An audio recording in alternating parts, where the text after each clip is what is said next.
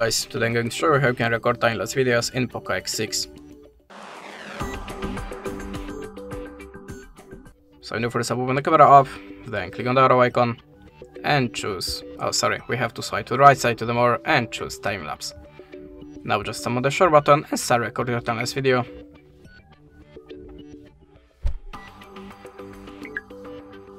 And this is how it looks. That's it. Thanks for the watching, leave us a like, recommend and goodbye.